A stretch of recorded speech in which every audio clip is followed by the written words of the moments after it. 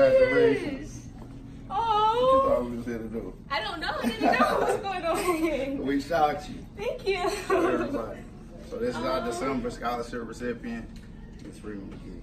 Woo!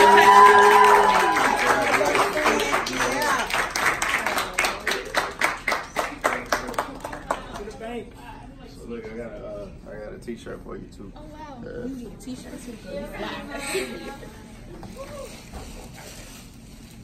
girl. Whose phone is that? I'm so sorry, honey.